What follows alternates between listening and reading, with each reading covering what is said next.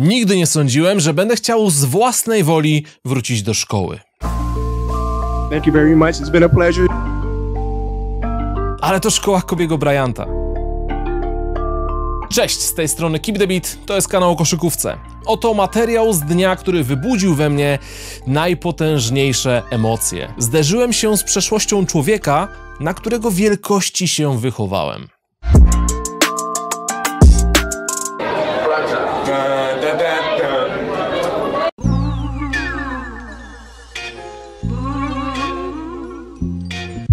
Cały ten wyjazd do szkoły średniej Kobiego Bryanta jest troszkę zrobiony na totalnym freestylu. Przed chwilą sprawdzałem sobie na mapach Google, do której godziny w ogóle szkoła jest otwarta. No i wiem, że wyrobimy się w razie czego, ale nie jestem pewny, czy to osoba z zewnątrz, nie będąca uczniem, będzie mogła tak po prostu sobie wejść do środka i zobaczyć te wszystkie pamiątki, zdjęcia, puchary i jakieś tam niesamowite rzeczy związane z Kobim. Najwyżej po prostu pojedziemy sobie na drugi koniec miasta, aby pocałować klamkę i, i zrobić sobie zdjęcie pod szkołą, pod halą. A następnym przystankiem będzie boisko zrobione ku czci Kobiego Bryanta. Przepiękne boisko Tustin Playground e, w fioletowo-złotej, e, złoto-purpurowej, przepraszam, złoto-purpurowej kolorystyce Lakersów.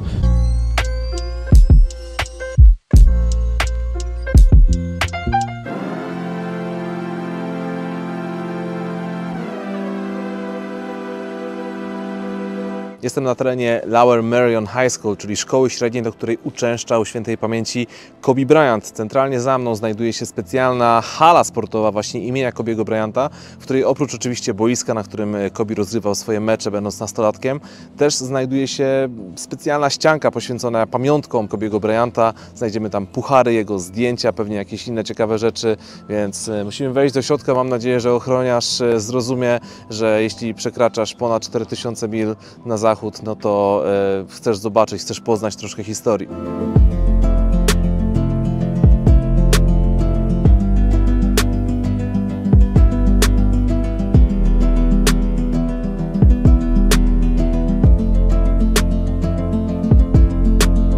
Dobra, idziemy do środka przywitać się z panią ochroniarz i wytłumaczyć. Hello, I'm, I'm Lucas. I'm from Poland. I love Kobe. Zgodnie z oczekiwaniami wejście do szkoły średniej w Stanach no nie jest takie proste, ale na całe szczęście udało nam się przekonać tutaj e, kilka osób przy wejściu. I tu się na chwilę zatrzymajmy, bo cała ta wycieczka zakończyłaby się fiaskiem, gdyby nie jeden ludzki gest pracowników szkoły. Po wejściu na teren udało mi się złapać na krótką rozmowę jednego z nauczycieli, który jednak nie był zachwycony moją historią o fanbojstwie Kobiego i o przybyciu z drugiego końca świata. I tu nawet nie chodziło do końca o kwestię bezpieczeństwa czy jakiejś nieufności, po prostu była już druga po południu i nikt nie miał czasu, by niańczyć fana z Polski. Ale no właśnie, z Polski. Naszą rozmowę podsłuchała inna pracowniczka szkoły. Podeszła do nas, dziękując za pomoc i dając nam w razie kłopotów numer telefonu do siebie. Dopiero po chwili Alicja wytłumaczyła moim niewykształconym zmysłom społecznym, że ta pracowniczka jest Ukrainką i że był to taki międzynarodowy gest wdzięczności za pomoc Polaków w obliczu rosyjskiej agresji. Nauczyciel, który jeszcze chwilę wcześniej mi odmawiał, zmiękł w obliczu zaistniałej sytuacji. Spytał się jeszcze raz, czy jestem z Polski. Najwidoczniej nie dosłyszał, gdy mówiłem to za pierwszym razem. Spojrzał na zegarek i powiedział: Kończę o 15, wróćcie za godzinę, oprowadzę was po hali dostaniemy taki jakby osobisty, prywatny tour po, po, po całej tej hali, więc, e, więc chyba nawet lepiej wyjdzie. Ale teraz skoczymy sobie po prostu na kawę gdzieś tutaj w okolicy i poczekamy sobie godzinkę.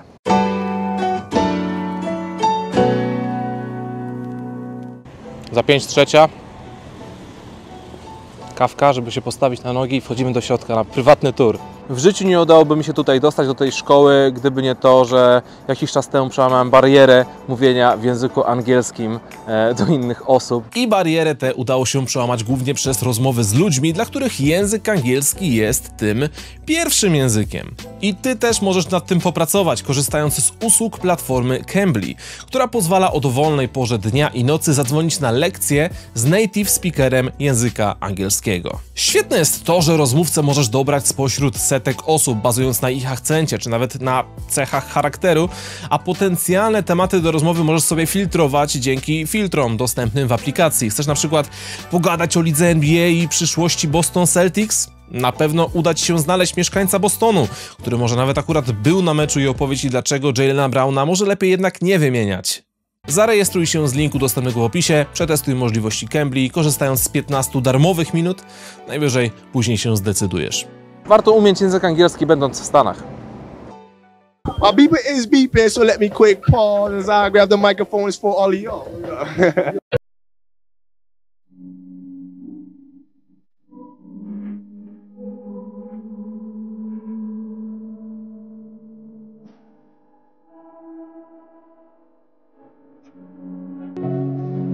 Za mną znajduje się metalowa kula, która została zbudowana ze starych szafek z szatni z czasów, kiedy grał Kobi. Czyli mówiąc w skrócie, nie wiadomo, która, które drzwiczki były akurat drzwiczkami Kobiego Bryanta, ale jedna z nich na pewno.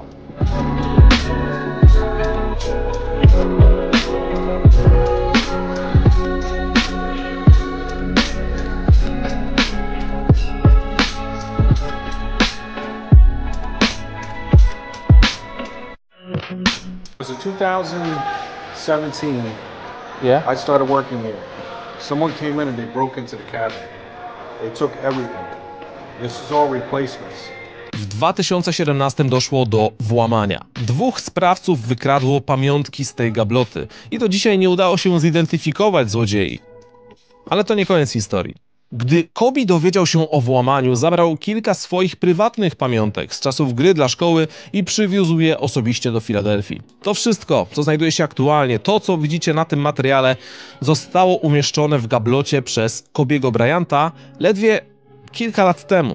Większości skarbów z kradzieży nie udało się odnaleźć, ale oryginalna koszulka Kobiego, którą podpisał podczas ceremonii w 2002 roku, trafiła na serwis aukcyjny. Koszulkę wylicytował ogromny fan Kobiego Bryanta z Azji, kolekcjoner wszelkich pamiątek związanych z legendą Lakers. Chwilę po tym, jak wrzucił zdjęcie swojej najnowszej zdobyczy do sieci, kilka osób poinformowało go, że najprawdopodobniej pochodzi ona z lewego źródła. Superfan, który w przeszłości miał okazję spotkać Kobiego kilkakrotnie, odesłał na własny koszt koszulkę do szkoły i wiecie, gdzie ona się teraz znajduje? Jest podwieszona wysoko na ścianie przy parkiecie.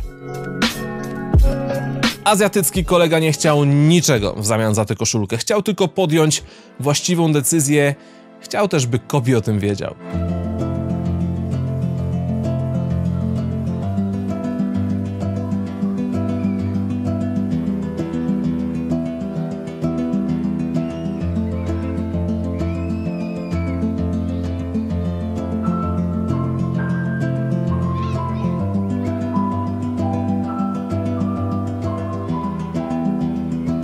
Co ciekawe, w tej szkole cały czas pracuje Greg Downer, czyli trener, który był właśnie trenerem jeszcze z czasów Kobiego Bryanta. Nie wiem, czy to się uda, ale może nawet damy radę sobie z nim pogadać chwilę.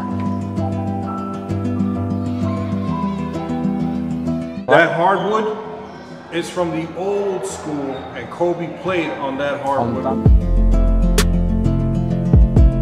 To wielkie koło, które tutaj widzicie, z logo szkoły Lower Merion, zostało stworzone z, ze starych desek parkietu, na których rozgrywały mecze Kobe Bryant właśnie w latach 90. Niesamowite. Dotykam parkietu, na którym grał Kobe Bryant. O, gdzieś tu dotnę. Masakra, przygoda życia, nie?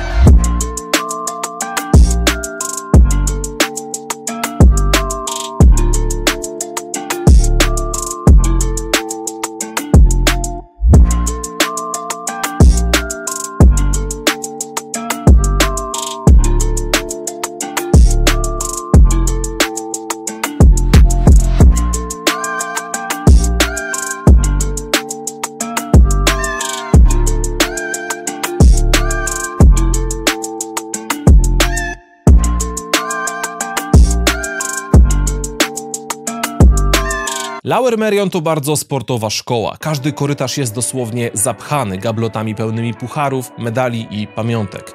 Jak już widzieliście, Kobe ma swój własny ołtarzyk naprzeciwko wejścia do hali jego imienia, ale można zobaczyć go też w kilku innych miejscach. To jest ciekawe, tego nie wiedziałem. Ta szkoła wcześniej miała jeszcze jednego absolwenta z NBA, Jima Brogana z Los Angeles Clippers. Może powinienem był na samym początku tego filmu odpowiedzieć na podstawowe pytanie. Po co i dlaczego w ogóle mamy jarać się szkołą Kobiego Bryanta?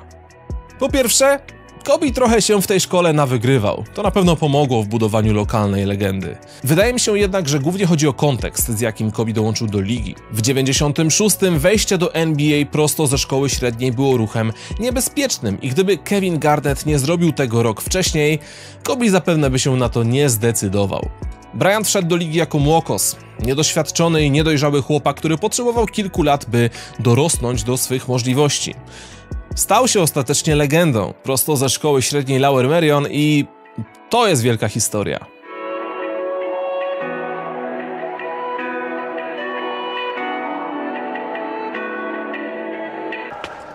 Niezły tur, co? Ale to jeszcze nie koniec wycieczki na dzisiaj.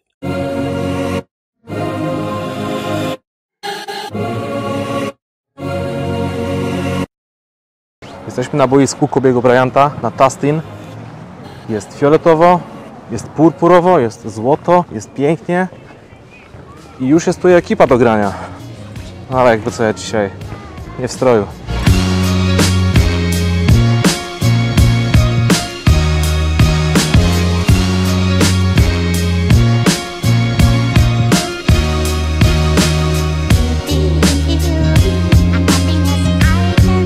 Kosmiczne boisko. Pięknie tutaj wygląda. E, Parkiet to w ogóle nie jest żaden beton, to jest normalny parkiet, fajnie położony, taka, e, taka guma specjalnie robiona pod turnieje fibowskie, coś właśnie w tym stylu. Kolorystyka jak widzicie jest kosmiczna, złoto i purpura, kolory Lakersów, kolory Kobiego Bryanta. E, Całe to boisko upamiętnia jego wielkość, jego historię. Niesamowite, że to się wszystko znajduje się właśnie tutaj w Filadelfii na przedmieściach.